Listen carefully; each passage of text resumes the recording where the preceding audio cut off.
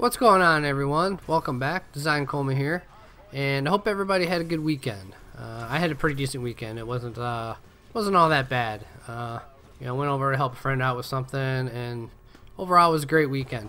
So the gameplay you're watching is me playing some Hardpoint in Advanced Warfare, and I figured I'd pull out the Speakeasy and you know blow the dust off of it a little bit. I haven't used it in in quite a few weeks. You know, I've been trying out some other different weapons, and you know, I figured I'd figured I'd play this one in this match, and overall we did pretty good. We ended up winning. Uh, ended up on the, the negative side, you know, as far as kills and deaths go, but you know, overall the gameplay was great. So uh, today I'm calling today Crazy Monday. Uh, so do, you know, depending on when you're going to listen to this or watch it, uh, it could be Tuesday or whatever day, but uh, it is recording on Monday, and the reason I'm calling it Crazy Monday is because there's a couple things, couple crazy articles that I just got to talk about. You know, the there's a, a, one that has to do with a local news station that we have here, and another one is uh, something I just came across on IGN. It's just I don't know. This the, that one I'll talk about last because honestly I would not I wouldn't do it. So on to the NPR thing. Uh, what what uh, what this is is it's a uh, it was a news a news report on some voice recognition software. And it's not necessarily for you know passwords or anything of that nature.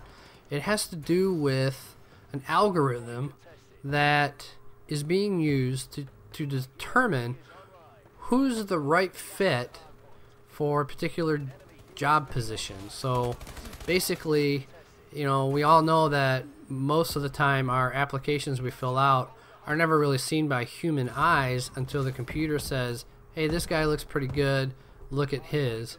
You know, and then eventually it ends up on somebody's desk in front of their eyes. And to be honest with you, I mean, I, I don't like it, but I understand why it's used because, you know, when you've got thousands and thousands of applications coming in, I mean, unless you have an army of people dedicated to looking at applications, it, it is it is quite difficult. But you know, and it, you know the old days of walking into a, a, an establishment and asking about work, and then maybe having an on the spot interview, you know, doesn't necessarily happen. Or you know, say, hey, come on back in in a day, and you know, we'll talk. But you know, I guess that only really works for fast food places now. It's pretty easy to do that.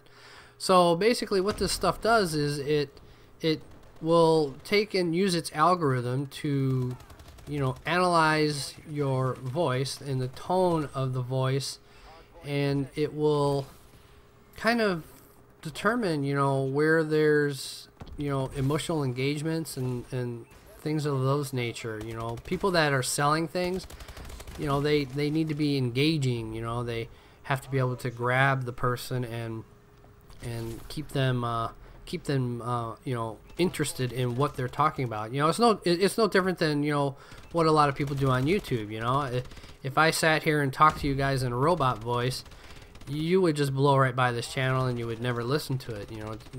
Even if you only stay and listen to you know me talk for only about two or three minutes well you know that's great. But at the same time if i was talking like a robot well, it would probably be like two or three seconds. So, you know, I, I can see where this software might have some benefits, but what it what it really makes me fearful of is, you know, I, I think about my kids, you know, because yeah, you know, when they get ready to go look for a job, you know, when they get out of college, whatever it might be, you know, these are the things that they're probably going to have to be working with. You know, they're going to have to be thinking about how the interview is going to go. You know, and of course, you know, nobody wants to hire somebody who's going to be blah blah blah boring. You know, I can I totally get that. But at the same time, you know, could this be, you know, passing up somebody who's really great at something?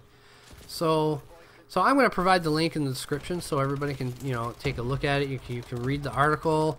Uh, you can even listen to the uh, the newscast. You know, they they got the uh, they'll have uh, the a little uh, player there that you can click on and you can listen to it if you want to, or you can just read it. I, I believe the um, you know the the article is basically just a you know a typecast of what the uh, what the newscast was. So so yeah, you, should, you know definitely check it out. It's it's really interesting. It's really cool. You know, I mean, I like things technology. You know, I, I like all things technology. Uh, but uh, you know, this one I can see where it you know, it, it, it kind of rubs two different sides. You know, it's like it's cool. I can see where it might help out, but at the same time, I, I can see where you know maybe it might hurt. You know, maybe that person is just not having a, a decent morning. You know, and and things like that. And you know, there's just some things that can be out of our control that can unfortunately affect the way we speak. You know, during an interview. So, so yeah, you know, ch definitely check it out. It's it's, it's kind of interesting. So the other thing I want to talk about is um, over on IGN, and I'm just going to talk about it real quick. Is they uh, they posted a video, and I'm going to provide the link in there. To uh, it, basically, the question is, you know, how much money would it take for you to eat a live tarantula, non-poisonous, but a live tarantula the size of your hand. And when I watch this little video and they're going around their office uh, asking people, I'm just sitting here thinking, you know, bugs are one thing. You know, eating a cricket is one thing. You know, uh, even the stuff that people have had to eat on Survivor, you know, like grubs and, you know, uh, some some of the other things. You know, I mean, I I could probably go as far as a cricket maybe, but you know, I I couldn't do a grub uh, or, or, anything like that. Some of the stuff they have to eat on Survivor, I just I just wouldn't be able to do it. Yeah, that, that is definitely one challenge. I would just not even bother. I wouldn't even waste my time. So, um, so yeah, you know, it was you know how much money would it take to get you to eat a live tarantula? Some said you know none, which of course I would say none because I just wouldn't do it. One guy said he would do it for $59.99, the cost of a video game. So, so definitely, you know, I'm going to provide the link in the description. Go watch the video because it's, you know, in all honesty, it's hilarious. You know, and kind of gross at the same time. I think the guy at the end, I thought for sure he was going to hurl right there. You know, right at the end, he was just going to lose it. But um, I think that would be me because I, just thinking about it just makes my stomach turn a little. You know, the thought of eating something that big. I mean, you know, tarantulas are are not are not tiny tiny little spiders. I mean, these things they're pretty big. You know, when you're talking the size of your hand, I mean, that's a big body on that spider. so, so yeah, go check it out. It's hilarious. Uh, so something else I kind of want to go over is it looks like anybody who has a Twitch account, um, you may want to check this link out for sure. Uh, you probably already had the email come to you. Uh, if you do have a Twitch account, it looks like you know the the streaming service you know was uh, was breached. You know passwords you know and, and whatnot. So I have a Twitch account, but I haven't used it. There's really nothing in there. You know I think I I started one for I don't know some contest or something, and you know so I started a Twitch account, uh, but I don't I don't use it yet. so so yeah, you may want to, you know, check it out, change your password. You know, you may even find when you go to log in that it's going to prompt you to uh, reset your password. But along those lines, the other thing I kind of wanted to to mention is I did come across an article a while ago, and I've had this just kind of sitting there.